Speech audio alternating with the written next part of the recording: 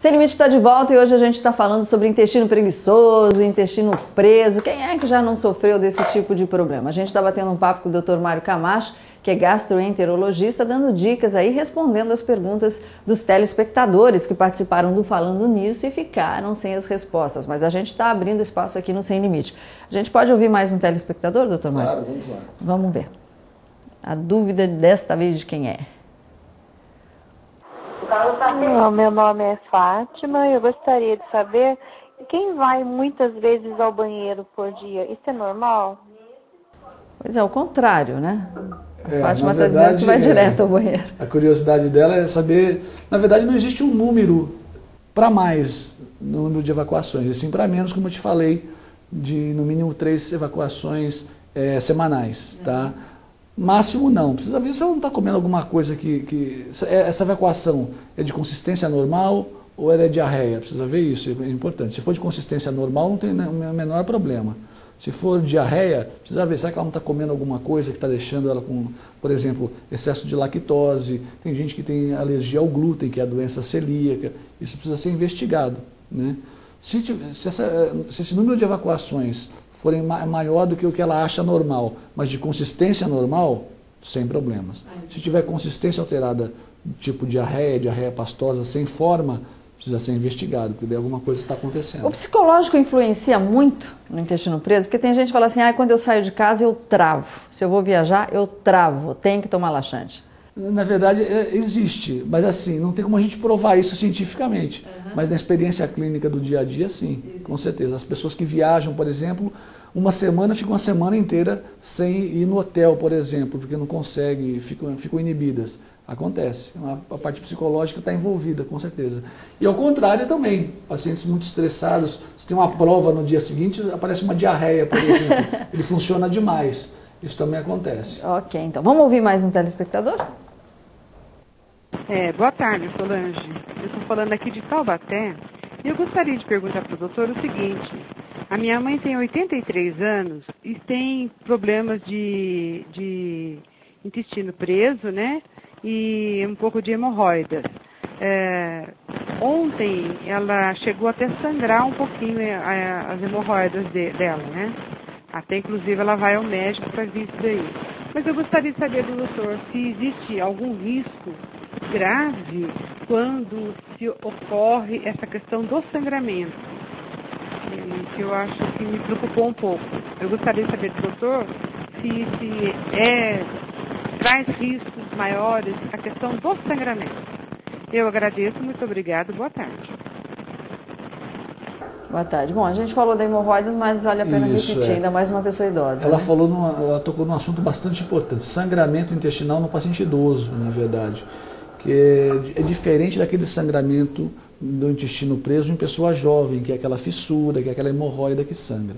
Num paciente de 83 anos como a mãe dela, a primeira coisa que a gente tem que investigar é neoplasia, é câncer, né? É uma idade muito avançada, o, risco logicamente aumenta muito. Num paciente de 25, 30 anos, o risco é muito baixo. Mas num paciente de 83 anos, o risco é alto.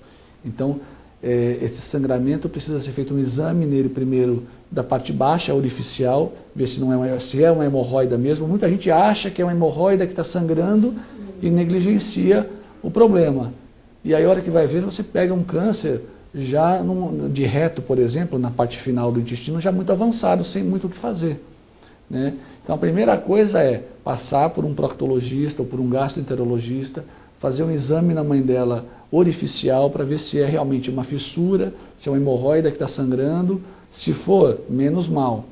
É, mas se não for, uma investigação mais detalhada do problema. O fato do idoso, geralmente o idoso entra, consome todo dia um pouco mais de, de- medicação, né? Sim. Tem medicação de pressão, colesterol, enfim. Diabetes, um é, monte de coisa. tem uma porção de pirulazinha, de remedinho Sim, que toma no sim. dia a dia. Isso pode também agravar o problema? Isso pode. Na verdade, o idoso ele já é um constipado mais crônico mesmo, até pelo envelhecimento da própria célula do intestino dele, do organismo todo. Né? As nossas células vão, vão envelhecendo. E então esse trânsito intestinal no idoso, esse caminho que as fezes percorrem no idoso, ela é mais lenta. Tá? Isso já é normal, dito normal. É, Você associa isso a, normalmente, é, remedinho para dormir, que ele às vezes faz uso, ele não consegue dormir direito, ele quer tomar um remedinho para dormir. Remédio para Parkinson, para Alzheimer, está ficando cada vez mais comum. É, antidepressivos, você acaba atrapalhando ainda mais e acaba piorando a situação no intestino no idoso. Doutor Mário, a gente falou de todos os problemas, ou pelo menos a maioria deles. Agora, como é que se resolve o intestino preso? Existe uma alimentação mais adequada, o consumo de água, o consumo de fibras? É, isso é importante, é fundamental na verdade. A gente comentou isso no programa também do Falando Sim. Nisso, né? É, teve bastante ligação com, em relação a isso. É, eu estava comentando o seguinte, o, a, a, o, intestino preso, na verdade, é, você, como que você melhora o intestino preso? Você tem que fazer, é, é, é, é um pilar, são três pilares, na verdade, que a gente fala.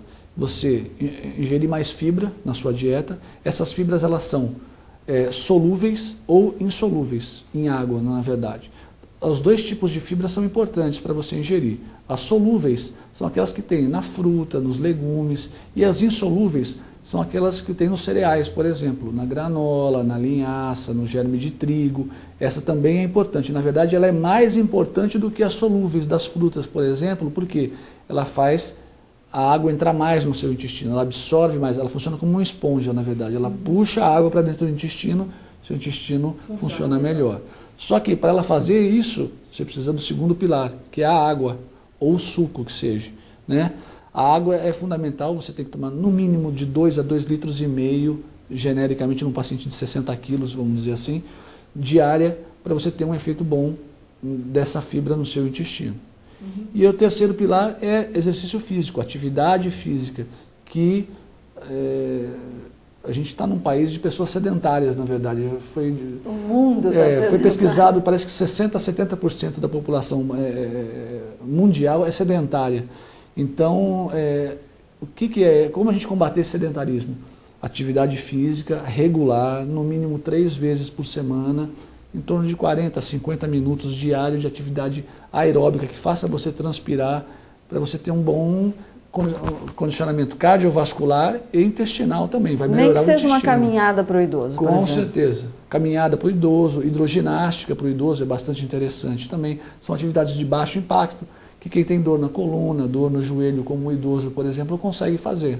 Ok, então. Doutor Mário, queria agradecer demais a sua participação aqui no Sem Limite, abrir as portas aqui do consultório para tirar mais ainda as nossas dúvidas. E no sábado que vem a gente tem um encontro marcado. Quem tiver dúvida, todos os dados aqui do doutor Mário aqui na telinha, pode ligar, perturbar a vida dele para falar sobre intestino é, preguiçoso. A gente volta no sábado que vem, estou esperando vocês. Até lá então, tchau, tchau.